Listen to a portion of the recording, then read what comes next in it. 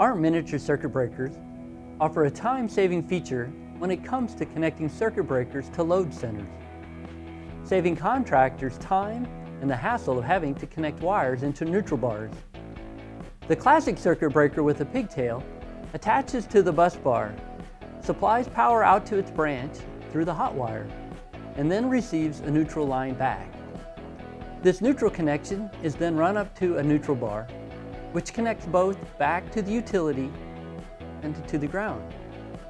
With the plug-on neutral option, instead of wiring a pigtail to the neutral bar, the circuit breaker not only attaches to the bus bar, but also attaches to a plug-on style neutral bar. The pigtail for a connection back to neutral is no longer needed. It should be noted that our plug-on offer only properly terminates in a corresponding plug-on load center, such as this one.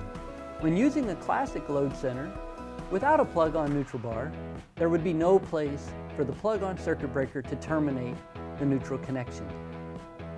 Plug-on neutral is available for both our QO and Homeline circuit breaker offers.